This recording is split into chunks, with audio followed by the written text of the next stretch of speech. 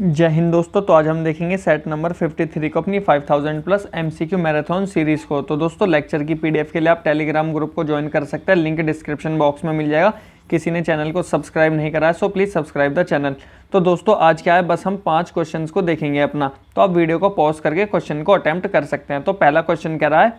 The British army defeated Tipu Sultan in a brief but fierce war in 1799, thus putting an end to the ambitions of the Mysore state. In this context, which of the following was were the consequences of this war? तो दोस्तों यहाँ पर क्या कि आप देखो यहाँ पर कह रहा है ये टीपू सुल्तान के बारे में बात कर रहा है और यहाँ पर अंग्रेज़ों के बारे में बात कर रहा है तो यहाँ पर क्या कि हम इस तरीके से समझेंगे आपने हमने सबसे पहले देखा था जैसे दिल्ली सल्तनत इंडिया में आती है फिर उसके बाद में क्या है मुगल एम्पायर इंडिया में आता है तो दिल्ली सल्तनत से पहले क्या है कि हमने अपनी एंशंट हिस्ट्री में देखा था और हम कह सकते हैं कि मिडाइवल हिस्ट्री में देखा था कि जो तमिलनाडु वाला पार्ट है, एक तरीके से हमको यहाँ पर क्या है कि विजयनगर एम्पायर देखने को मिलता है। और इसके ऊपर हमने देखा था कि बहामानी किंगडम यहाँ पर राज करता है। तो जब यहाँ पर विजयनगर एम्पायर एक तरीके से, ये आपने देखा होगा कि तेरह में ये विजयनगर एम्पायर की फाउंडेशन रखी जाती है हरियर एंड बुक्का के द्वारा। और लेकिन यहाँ पर पंद्रह में क्या होता है बैटल ऑफ़ तालीकोटा होती है। तो जब बैटल ऑफ़ तालीकोटा होती है तो विजयनगर एम्पायर का क्या है? खत्म, यानी कि एक तरीके से खात्मा हो जाता है, यानी कि विजयनगर एम्पायर का पतन हमको देखने को मिलता है। तो ये सारी चीज़ें हमको देखने को मिलती है। फिर जैसे ही पंद्रह में विजयनगर एम्पायर टूट जाता है ना तो इसके बाद में क्या देखने को मिलता है? छोटे छोटे किंगडम एक तरीके से बिखर जाते हैं। तो यहाँ पर क्या है कि एक इसके अंदर में होती है वुडियार डायनेस्टी। तो ये जो वुडियार डायनेस्टी ना, एक तरीके से हिंदू रूलर हुआ करते थे। तो इस वुडियार डायनेस्टी के राजा थे, जैसे छिक्का कृष्णा राया छिक्का कृष्णा राज तो एक तरीके से क्या है कि ये राज करते हैं। तो अब इसके अंदर में क्या होता है कि आप देखते हो कि ये बुढ़िया डायनेस्टी के ये राजा होते हैं तो धीरे धीरे आगे चल करके इसके अंदर में दो ब्रदर्स होते हैं। तो जब दो ब्रदर्स होते हैं तो आगे चल करके आपने पढ़ा होगा कि जो एक तरीके से टीपू सुल्तान का बाप होता है हैदर अली। तो हैदर अली क्या है? एक तरीके से हॉर्स मैन के रूप में इस वुडिया डायनेस्टी के अंदर में काम करता है और फिर धीरे धीरे एक तरीके से हैदर अली क्या है पावर को सीज कर लेता है और यहाँ पर अपने आप को एक तरीके से क्या है, वो अपने आप को एक तरीके से क्या है, इसका मतलब एक तरीके से यहाँ पर डायनेस्टी को वो खुद बना लेता है। तो ये सारी चीज़ें होती है। तो अब यहाँ पर क्या है कि हम देखेंगे कैसे आगे की कहानी चलती है। तो सत्रह सौ सत्तावन में क्या होता है, आपने देखा बैटल ऑफ़ प्लासी लड़ी जाती है। सत्रह में बैटल ऑफ़ बक्सर लड़ी जाती है। फिर उसके बाद में सेवन और यहाँ पर क्या कि जो इंग्लिश है। इंग्लिश और यहाँ पर जो टीपू सुल्तान है और एक तरीके से हैदर अली है। तो इनके साथ में क्या है? चार लड़ाई लड़ी जाती है। तो पहली लड़ाई जो होती है सत्रह से लेकर के 69 में लड़ी जाती है। फिर उसके बाद में 1780 से लेकर के सत्रह के बीच में, फिर सत्रह से के सत्रह के बीच में, फिर सत्रह में ये लड़ाई लड़ी जाती है। तो दोस्तों, आप ऐसे समझो, ये क्या है कि ये हमारा फिर से हो गया इंडिया का मैप।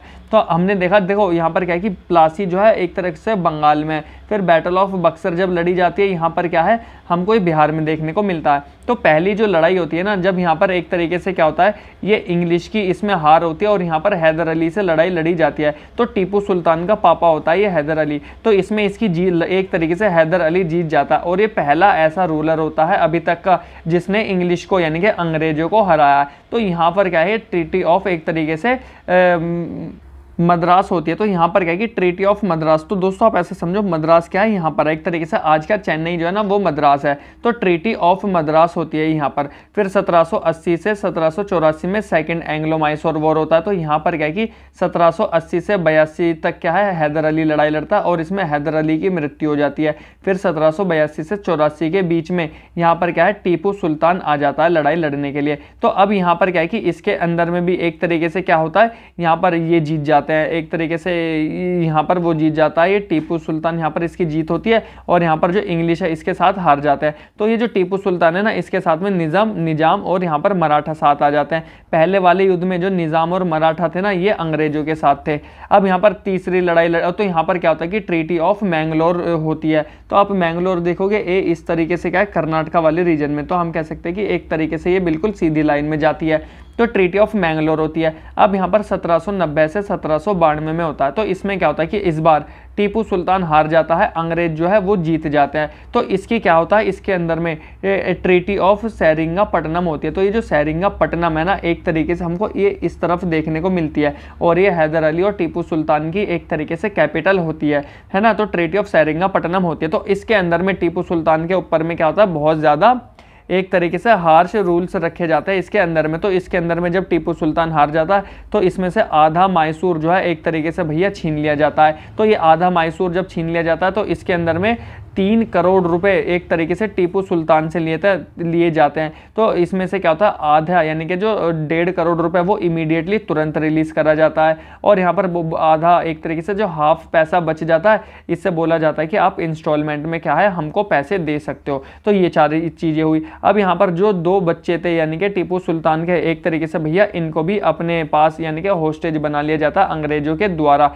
तो ये सारे प्रावधान रखे गए। तो अब इतनी बुरी हार होने के बाद में फिर क्या होता है कि टीपू सुल्तान को भी बहुत बुरा लगता है, फिर सत्रह सौ निन्यानवे में आखिरी युद्ध होता है तो इसके अंदर में क्या होता है, टीपू सुल्तान जो है मर जाता है और यहाँ पर अंग्रेज़ों की पूरी जीत हो जाती है। और यहाँ पर एक तरीके से जो ये मैसूर है ना, एक तरीके से क्या है, इसके ऊपर। तो अभी यहाँ पर जो होता है, सत्रह सौ निन्यानवे में लॉर्ड वेलेसली होता है। और ये लॉर्ड वेलेसली की आपको पता होगा, सब्सिडायरी अलायंस है और यहाँ पर मैसूर को क्या करा जाता है सब्सिडायरी अलायंस के अंदर में अपने अंदर मिला लिया जाता है। तो दोस्तों, जब सेकेंड वॉर चल रही थी ना सेकेंड एंग्लो माइसोर वॉर तो उस टाइम पर जो गवर्नर जनरल था, वो वॉरन हेस्टिंग था। और यहाँ पर जो थर्ड एंग्लो मैसूर वॉर था, वहाँ पर था लॉर्ड कॉर्नवालिस और यहाँ पर थर्ड वाली यानी कि फोर्थ वाली में थी लॉर्ड वेलेसली एक तरीके से गवर्नर जनरल तो दोस्तों, ये वाली सारी चीज़ें हमने एक तरीके से अपना बेसिक को जाना। अब इसकी स्टेटमेंट को पढ़ेंगे। तो यहाँ पर ये टीपू सुल्तान के बारे में बोल रहा, और यहाँ पर सत्रह सौ निन्यानवे वाली, यानी कि जो हमने देखा, इसके अंदर में टीपू सुल्तान किल्ड हो जाता, मर मार दिया जाता है और यहाँ पर अंग्रेज़ जो है जीत जाता है। तो जब अंग्रेज़ जीत जाते हैं ना, इसके अंदर में तो यहाँ पर क्या होता है कि जो वुडिया डायनेस्टी का हिंदू राजा था तो अब यहाँ पर क्या होता है, इस राजा को एक तरीके से क्या है, ये हिंदू डायनेस्टी को एक तरीके से ये दोबारा से दे दिया जाता है, मैसूर स्टेट। है ना? तो ये सारी चीज़ें हो गई। तो अब यहाँ पर पहला स्टेटमेंट कह रहा है कि all the territories of Mysore were given to the British ally the Nizam of Hyderabad तो दोस्तों, यहाँ पर मराठा एम्पायर भी तो था जो साथ में था। तो ये स्टेटमेंट गलत हो जाएगी क्योंकि इसने मराठा एम्पायर का नाम नहीं लिया। सेकेंड स्टेटमेंट कह रहा है Mysore was restored to the descendant of the original rajas from whom Hyder Ali seized power तो ये स्टेटमेंट भी ठीक हो जाएगी। थर्ड कह रहा है subsidiary alliance was impose on the new Mysore state तो दोस्तों, ये स्टेटमेंट भी ठीक हो जाएगी। तो जो हमारा आंसर है, यहाँ पर सेकंड और थ्री स्टेटमेंट ठीक हो जाएगी। तो दोस्तों, आप ये देखोगे ना, यहाँ पर क्या है, हमारा आंसर हो गया सेकंड और थ्री स्टेटमेंट तो आप आज भी देखोगे कि जो एक तरीके से तमिलनाडु, यानी कि मद्रास वाला रीजन है ना, हमको आपने देखा होगा मैसूर पैलेस है, यानी कि मद्रास पैलेस है, और आज भी एक तरीके से जो वड़ियार डायनेस्टी है, वो आज भी जीवित है, जबकि इंडिया के अंदर में जो राज शाही तंत्र है, वो खत्म कर दिया लेकिन यहाँ पर क्या है कि एक तरीके से, जैसे विजयनगर एम्पायर को जब ये एक तरीके से हार गया था तो वहाँ पर क्या है कि जो वडियार का राजा था तो तेरह में इसकी फाउंडेशन रख दी जाती है। तो जब यहाँ पर क्या है, ये बुडियार का राजा एक तरीके से विजयनगर एम्पायर के ऊपर में कब्जा कर लेता है। तो जो विजयनगर एम्पायर की महारानी होती है ना तो ये बच जाती है और एक तरीके से क्या है, इसके पास जेवर पहने होते हैं। तो अब ये राजा क्या करता है, इस महारानी के, इससे कहता है, अपने सैनिकों को भिजवाता है कि अब आप क्या है, ये सारे जेवर हमें दे दो, अब ये सरकार की संपत्ति हो गया है। तो रानी मना कर देती है। तो यहाँ पर क्या होता है? वो रानी शराब दे देती है कि भाई साहब, जैसे तूने मेरे एक तरीके से वंश को ख़त्म करा है, ऐसे ही तेरे घर में भी कोई वंश नहीं होगा। तो आज भी आप देखोगे ना तो 400 साल हो चुके हैं। तो अभी जाके इन, यानी कि इनके जो वुडिया डायनेस्टी आज भी ज़िंदा है, इनके घन, घर के अंदर में किसी भी लड़के का जन्म नहीं हुआ। लेकिन तो यानी कि 400 साल से ऐसा माना जाता है कि इस डायनेस्टी को शराब लगा लेकिन अब से चार पाँच साल पहले क्या है एक लड़का मतलब इनके घर में जन्म लेता है और उसकी एक तरीके से क्या है, फिर वो मतलब आगे का एक तरीके से राजा बन मतलब आगे के लिए वो बन जाता है राजा। तो यहाँ पर क्या है कि एक तरीके से क्या हो रहा था, इससे पहले जो भी यानी कि चाचा ताऊ, बुआ, फूफा, जो भी इनके बच्चे थे ना, ये इनको अडॉप्ट कर रहे थे एज ए वारिस के रूप में। सो दोस्तों, ये सारी कहानी थी इसकी। अब अपना यहाँ पर सेकंड क्वेश्चन को देखेंगे। तो यहाँ पर सेकंड क्वेश्चन आ रहा है, वो यू से लेकर के आ रहा है। तो दोस्तों, यहाँ पर पहले बेसिक को जानेंगे। तो आपने देखा कि 1992 के अंदर में तो दोस्तों 1992 में क्या होता है? रियो अर्थ समिट होती है। तो ये ब्राज़ील की कैपिटल एक तरीके से रियो जी डेनेरियो में होती है। तो अब यहाँ पर क्या कि तीन इंपॉर्टेंट फ्रेमवर्क यहाँ से निकल के आते हैं। आपने देखा होगा U N F triple C यानी कि यूनाइटेड नेशन कन्वेंशन और मतलब framework convention on climate change United Nation convention on biological diversity UNCCD यानी कि United Nation convention to combat desertification तो यहाँ पर ये निकला और दोस्तों ये लीगली बाइंडिंग ट्रीटी यानी कि अगर किसी देश ने ये रेटिफाई कर ली तो उसको अपने देश के अंदर में कानून बनाना होगा और यहाँ पर जो भी प्रावधान लेकर के लाए जाएँगे, वो फॉलो करने होंगे। तो अभी, यानी कि 2022 की जो मीटिंग हुई है ना तो आपने ये देखा होगा, ये अफ्रीकन कॉन्टिनेंट इस तरीके से है और यहाँ से क्या है इक्वेटर की लाइन जा रही है और यहाँ पर कोइट दी आइवरी है। तो इसकी जो कैपिटल है, वो है अबिदजान तो यहाँ पर जो कोप फिफ्टीन यानी कि इस साल की जो दो हज़ार बाईस की मीटिंग हो रही है, इस यू की वो कोइट डी आइवरी के अंदर में हो रही है। तो ये क्या है कि थोड़ा सा बेसिक जाना अब इसके क्वेश्चन को पढ़ेंगे। क्या रहा है consider the following statement regarding the United Nation convention to combat desertification तो पहला स्टेटमेंट कह रहा है fifteenth conference of the party COP fifteen of U N C D held in Abidjan तो दोस्तों, ये स्टेटमेंट बिल्कुल ठीक हो जाएगी, क्योंकि यहाँ पर क्या कि यूपीएससी में प्रिलिम्स इसी तरीके के क्वेश्चन पूछता है, जो चीज़ें न्यूज़ में रहती है। तो याद रखना, ये करंट अफेयर्स का क्वेश्चन है, और ये अबिडजान जिसकी कैपिटल मतलब कोइटडी आइवरी की कैपिटल है। तो ये स्टेटमेंट ठीक हो जाएगी। अब यहाँ पर सेकंड कह रहा है the theme of the fifteenth conference of party was land life legacy from scarcity to prosperity तो दोस्तों, ये भी स्टेटमेंट ठीक हो जाएगी। इस साल की जो थीम है, वो है हमारी land life legacy from scarcity to prosperity तो दोस्तों, ये हमें क्या कि याद रखने वाली चीज़ है। अब थर्ड कह रहा है कि it is the sole legally binding international agreement to address desertification तो दोस्तों, ये बिल्कुल ठीक है। हमारा लैंड डिग्रेडेशन से होने से रोकता है और आपको पता होगा कि जो इंडिया का टारगेट है, वो 2030 तक एक तरीके से क्या है कि कुछ 30 परसेंट के आसपास क्या है लैंड डिग्रेडेशन होने से रोकेगा और कुछ अपलिफ्टमेंट करेगा इसके अंदर में। तो यहाँ पर कह रहा है कौन सी स्टेटमेंट ठीक है? तो हमारा आंसर यहाँ पर तीनों स्टेटमेंट ठीक हो जाएगी। अब यहाँ पर थर्ड क्वेश्चन को देखेंगे। कह रहा है Dhap folk dance often seen in the news is associated with which state तो दोस्तों, यहाँ पर क्या कि जैसे हमने इससे पहले भी देखा कि जो एक तरीके से भारत मुनि की नाट्य शास्त्र है, एक तरीके से वो यहाँ पर डेफिनेशन दे करके बताती है म्यूज़िक के बारे में। और यहाँ पर क्या है कि जो पहला वर्ड एक तरीके से क्या है कि हमको डांस या म्यूज़िक जो है वैदिक टाइम से देखने को मिलता है। और यहाँ पर क्या है कि इंडिया के अंदर में बहुत ज़्यादा डाइवर्सिटी देखने को मिलती है तो इसके अंदर में इतने सारे रीजनल डांस हैं तो यहाँ पर इसकी कोई ट्रिक नहीं बन पाती।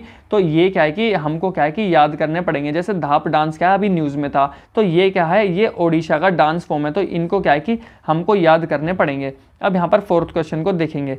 कह रहा है consider the following statement regarding the twenty month twenty month Congress rule 1937 to 39 in provinces तो दोस्तों, यहाँ पर फिर से अपना बेसिक से स्टार्ट करेंगे। तो आपने देखा होगा कि गवर्नमेंट ऑफ़ इंडिया एक्ट लाया जाता है 1935 के अंदर में। तो ये जो 1935 का एक्ट है ना, इसके अंदर में बहुत सारे फीचर्स है। तो इनमें से एक फीचर ये था कि भैया, हम क्या करेंगे? इलेक्शन कराएँगे। तो इलेक्शन कराएँगे तो ये इलेक्शन कब होंगे? उन्नीस सौ सैंतीस के अंदर में होंगे। तो दोस्तों, यहाँ पर क्या है?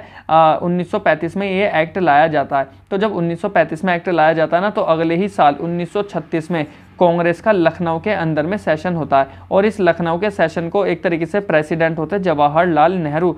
तो दोस्तों, ये इंपॉर्टेंट है हमारे प्रीलिम्स के लिए। तो देखो, जवाहरलाल नेहरू यहाँ पर प्रेसिडेंट होता है 1936 में लखनऊ का सेशन होता है इंडियन नेशनल कांग्रेस का। तो जब गवर्नमेंट ऑफ़ इंडिया एक्ट 1935 का कहता है कि इलेक्शन कराएँगे, नेहरू जी ने अगले साल ही बोल दी, बिल्कुल, आप कराओगे तो हम लड़ेंगे इलेक्शन तो इलेक्शन लड़ाई जाती है एक तरीके से ग्यारह प्रोविंसेज में। तो ग्यारह में से आठ प्रोविंसेज में क्या है कांग्रेस को एक तरीके से मेजोरिटी बनाती है। तीन प्रोविंस में एक तरीके से सरकार नहीं बना पाती तो ये तीन प्रोविंस जैसे पंजाब, सिंध और एक यहाँ पर बंगाल। तो पंजाब के अंदर में क्या है? यूनियनिस्ट पार्टी एक तरीके से क्या है? अपनी सरकार बनाती है तो ये सारी चीज़ें है। तो अब यहाँ पर क्या होता है कि देखो, अब एक तरीके से जो हमारा इम्पोर्टेंट है ना, इन्होंने जो काम करे उन्नीस सौ सैंतीस के अंदर में तो एक तरीके से क्या है, जो हमारे आपने देखा होगा पीजेंट पीजेंट का बहुत इंपॉर्टेंट रोल है इसके लिए। तो यहाँ पर टेनेंसी एक्ट वगैरह लेकर के आए तो ये सारी चीज़ें तो दोस्तों, अभी आप देखोगे कि एक ना पबना रिवोल्ट आता है, पबना एग्रेरियन क्राइसिस देखोगे तो पबना रिवोल्ट के अंदर में क्या होता है, हमने इससे पहले देखा, जैसे अट्ठारह की क्रांति होती है तो जैसे ही क्रांति होती है तो 1858 में ब्रिटिश गवर्नमेंट एक्ट लेकर के आती है रिफॉर्म्स के लिए। तो ये जब लेकर के आई तो हमने इससे पहले वाले लेक्चर में भी देखा 1859 के आसपास में क्या है, हमको इंडिगो रिवोल्ट देखने को मिलता है। तो जब ये सारे रिवोल्ट देखने को मिलते हैं ना तो सरकार कानून लेकर के आई। तो ऐसे ही क्या है कि 1859 में ये कानून लेकर के आई टेनेंसी एक्ट का। तो इस टेनेंसी एक्ट के अंदर में इन्होंने बताया कि जो भी एक तरीके से किसान यानी कि एक ज़मीन पर 12 साल तक काम करेगा तो यहाँ पर क्या होगा? तो उसको ना वो ज़मीन पर काम करेगा, वो उसको मालिक बना दिया जाएगा। तो अब जब वो मालिक बन जाएगा, अगर 12 साल तक काम करेगा तो इससे क्या होता है? ज़मींदार बहुत ज़्यादा परेशान हो जाते हैं। फिर वो सोचते हैं कि भैया, अगर ये किसान मालिक बन जाएँगे तो हम क्या करेंगे? तो ऐसे ही करके क्या है कि आगे जा करके ये जो 1859 का एक्ट होता है ना, आगे जा करके क्या है, एक तरीके से दुख देता है। तो ये सारी चीज़ है। तो अब ये क्या होता है कि ज़मींदारी सिस्टम है ना तो यहाँ पर इस क्वेश्चन में बात करी गई है ज़मींदारी सिस्टम की। तो अब यहाँ पर दोबारा से पढ़ेंगे 1937 का, एक तरीके से जो कांग्रेस का रूल होता है अट्ठाईस महीने का। तो कह रहा है कांग्रेस जो है एबोलिश कर देती है ज़मींदारी सिस्टम तो दोस्तों, ये स्टेटमेंट गलत हो जाएगी क्योंकि आप ऐसे समझो, ये क्या है, हमारा इंडिया का मैप हो गया। तो अब यहाँ पर जैसे ये छोटे छोटे एक तरीके से प्रोविंस हो गए तो आठ में क्या है, कांग्रेस की सरकार थी, आप ऐसे समझो। तो अब यहाँ पर क्या है, ये हो गए हमारे प्रोविंस उस टाइम जैसे आज की डेट में स्टेट कहते हैं ना तो उस टाइम पर प्रोविंस बोला जाता था। तो अब यहाँ पर क्या है जो एक तरीके से कांग्रेस है प्रोविंशियल सब्जेक्ट के ऊपर काम कर सकती थी, लेकिन ये जो जमींदारी सिस्टम है ना, ये जमींदारी सिस्टम की जो पावर है, ये भैया वाइस रॉय के पास में थी और गवर्नर के पास में थी। तो जब वाइस रॉय के पास पावर है तो ये एक तरीके से ये कांग्रेस कैसे कुछ इसके ऊपर एक्शन ले सकती है तो ये लॉजिक वाली बात है। तो पहला स्टेटमेंट गलत हो जाएगी। फिर सेकंड कह रहा है the passage of tenancy act gave hereditary right to statutory tenants in Agra and Awadh तो दोस्तों, ये स्टेटमेंट ठीक हो जाएगी। जैसे हमने अभी देखा कि 1859 में टेनेंसी एक्ट लाया जाता तो यहाँ पर बोला जाता है कि जो कोई 12 साल तक काम करेगा तो यहाँ पर क्या है, उस किसान को ओनर दे मतलब वो मालिक बन जाएगा। तो अब यहाँ पर क्या है कि एक तरीके से इसने बोला 12 साल के बाद में वो मालिक भी बन जाएगा और यहाँ पर क्या है कि अपने बच्चे को अपनी जगह पर वो काम पर लगा भी सकता है। तो हम कह सकते हैं, ये हेरिडिटेरी राइट देता है। तो ये 1859 से चली आ रही थी। तो अब यहाँ पर जब उन्नीस सौ सैंतीस में कांग्रेस की सरकार बनती है तो इन्होंने क्या करा? इन्होंने बोला, अगर कोई किसी ज़मीन पर दस साल काम करेगा और यहाँ पर वो तो वो मालिक बन जाएगा और हेरिडिटेरी यहाँ पर वो सारी चीज़ें रहेगी। तो ये सारी चीज़ें तो यहाँ पर क्या कि हेरिडिटेरी का प्रावधान था और टेनेंसी एक्ट का प्रावधान था। यानी कि टेनेंट का मतलब होता है एक तरीके से जो रेंट के ऊपर क्या है रेंट पर काम करते हैं किसी ज़मींदार की ज़मीन पर। तो एक तरीके से क्या होता है खेत जोतेदार, रियोतवारी जैसे होता है ना, ये होते हैं। अब थर्ड कह रहा है during Congress rule Yusuf Meherally a socialist leader was prosecuted by the Madras government for making an inflammatory speech तो दोस्तों, ये वाली स्टेटमेंट भी हमारी ठीक हो जाएगी। तो अब यहाँ पर क्या है कि जब एक तरीके से कांग्रेस की एक तरीके से क्या है प्रोविंस में गवर्नमेंट होती है तो ऐसे ही क्या कि तमिलनाडु के अंदर में एक तरीके से जो चीफ मिनिस्टर बनते हैं, यानी कि सी राजगोपालाचारी तो यहाँ पर क्या है कि एक तरीके से एक यूसुफ मेहरली होता है। तो ये सोशलिस्ट लीडर होता है तो ये क्या है कि ब्रिटिश अब क्या है कि कुछ लोग ऐसे थे जो कांग्रेस की पॉलिसी से खुश थे। कुछ लोग ऐसे भी थे जो कांग्रेस की पॉलिसी से खुश नहीं थे। तो ऐसे ये यूसुफ मेहरली था ये सोशलिस्ट लीडर था। तो यहाँ पर क्या कि इसने ब्रिटिशर्स के अगेंस्ट में मतलब कुछ ऐसा बोला मतलब एक तरीके से क्या है इन्फ्लेमेटरी स्पीच दी। तो जिसकी वजह से क्या होता है कांग्रेस को पसंद नहीं आती है तो इनको एक तरीके से क्या प्रोजिक्यूट करा जाता है। तो ए, एक और बंदे होते हैं ऐसे बिहार के बटालिया करके। तो अब यहाँ पर क्या है कि उनको छः महीने की वो भी ब्रिटिशर्स के अगेंस्ट में कुछ गलत बोल रहे होते हैं। तो यहाँ पर उसको छः महीने की एक तरीके से जेल भेज देता है। तो ये सारी की सारी चीज़ें हमने उन्नीस सौ सैंतीस से 39 के एक्ट के अंदर में मतलब ये सारी की सारी चीज़ें हैं। तो यहाँ पर जो हमारा आंसर होगा, वो यहाँ पर टू एंड थ्री यानी कि करेक्ट स्टेटमेंट होगी। अब यहाँ पर आज का फिफ्थ क्वेश्चन देखेंगे लास्ट का। कह रहा है, Pabna district was the epicentre of the agrarian unrest in East Bengal from 1870 to 1880 in the context consider the following statement तो दोस्तों, अभी हमने पबना एग्रेरियन क्राइसिस के बारे में बात करी और यहाँ पर क्वेश्चन भी पबना एग्रेरियन का आ गया। तो देखो 1857 के अंदर में क्या होता है? हमने देखा विद्रोह होता है। फिर 1858 के अंदर में British government rules and regulation लाती है। फिर 1859 में क्या होता है? इंडिगो रिवोल्ट देखने को मिलता है। फिर जब इंडिगो रिवोल्ट होता तो आपने ये भी देखा होगा कि 1859 के अंदर में टेनेंसी एक्ट लाया जाता है गवर्नमेंट के द्वारा। तो इसके अंदर में जैसे बताया, जो 12 साल तक काम करेगा, उसको क्या है, ज़मीन का मालिक बना दिया जाएगा। जब ज़मीन का मालिक बना दिया जाएगा तो वो अपनी जगह अपने बच्चे को भी लगा देगा तो इसको बोला गया हेरेडिटेरी राइट तो अब यहाँ पर क्या होता है, जो ज़मींदार होते हैं ना, ये बहुत ज़्यादा परेशान होता है, कहते हैं, हमारी ज़मीन तो इनके पास चली जाएगी तो हम क्या करेंगे? तो ज़मींदार एक हथकंडे अपनाते हैं। तो ये क्या करते हैं, ये जो टेनेंट्स होते हैं ना, इनको खूब परेशान करते हैं, यानी कि बारह सालों तक इनको काम करने ही नहीं देते।